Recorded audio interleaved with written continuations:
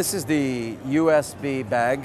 It's, a, it's an airline approved carrier that uh, can be used as a handbag or as a shoulder strap bag, increasing the length of, uh, of the strap.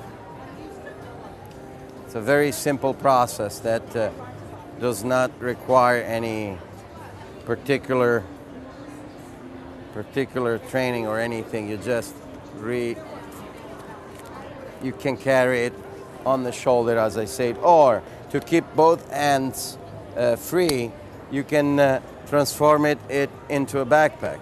So you connect the, the strap from on the bottom on one side and uh, to the top of the other side, and the bag becomes a backpack.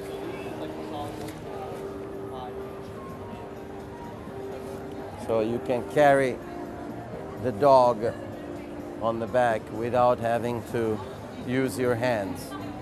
The, the other great feature is uh, the fact that it can be connected to a motorcycle uh, connection that, we, that I have designed or to a bicycle connection. So it's a very multifunctional bag.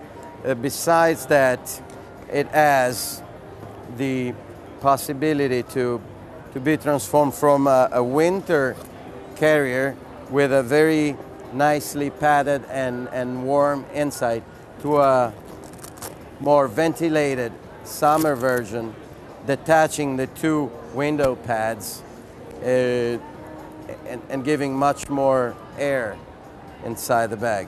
It also comes with longer straps which are used to tie the bag as I did uh, in the backpack version to the car seat. So it also uh, works as a car a containment device that uh, helps you to uh, travel with your dog safely. The doors that are supposed to be used when in, in, on the plane can be detached and clipped to the inside of the bag not to be uh, lost and, uh, and that's another little feature and the last thing that I would mention about the bag is the fact that it has a, built-in uh, poop bag holder which uh, you know it's an additional additional thing plus a little zip pocket for for treats uh, or or for a very small leash. It, the bag also comes with a comfort mat that has two sides, uh, nylon or fleece polyester, a little warmer and a little cooler. Uh, the rest of the of the padding inside is covered by cotton, what natural cotton, and uh, all the the zip holders are pretty ergonomical and made of uh, rubber.